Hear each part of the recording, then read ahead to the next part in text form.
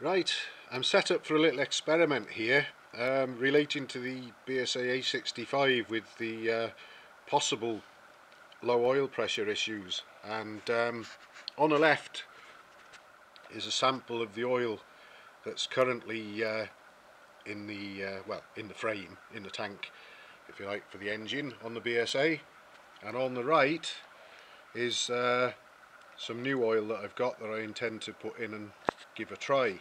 Um, the one on the left, I've spoke to the owner, is apparently a 2050 grade from Halfords. The one on the right is a 2050 grade by Morris's, which uh, I often use. Um, I started using it for no better reason than it was conveniently available locally, um, but it is pretty good stuff. Um, but what I'm going to do here is a throwback to uh, when I worked as a marine engineer and we had this very simple apparatus where uh, you could it was almost like I called it this jokingly called it the ski slope where you'd put uh, you had two tracks on a little device that stood up at about 45 degrees or so I think it was and you could put a sample of new oil in one channel and a sample of the oil you wanted to test in for viscosity in the other channel. And basically they had a race and um, you could see if uh, one travelled much faster than the other that it might be time for an oil change or something. But uh, based on that that's what I'm going to do here. Now I've got these two tubs with similar amounts of oil in and uh, they're both propped up at an angle. And what I'm going to do is I'm going to take the prop away and we're going to watch the oil samples race each other to level out. There we go. And we can see that the one on the left is winning. That's almost all the way to the other end now. The new stuff there on the right is just closing in. It's got that area still to fill in.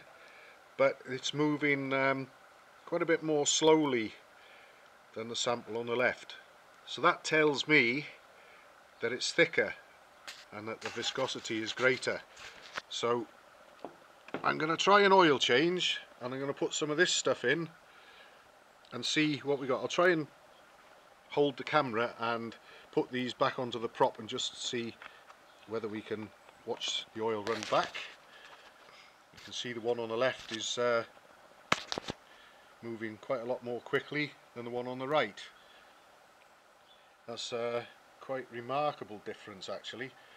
So my next part of the plan is I'm going to start the engine cold with this oil in it and we'll get readings off the uh, pressure gauge which I've got fitted to it. And uh, just see what we've got what pressures we got at the various RPMs then I'll drop the oil. Then we'll put some of this stuff in. Um, the engine will have cooled back down by then. And uh, we'll give it a try and see if the readings increase the pressure readings increase with this oil in. And uh, I suspect and hope that they might do.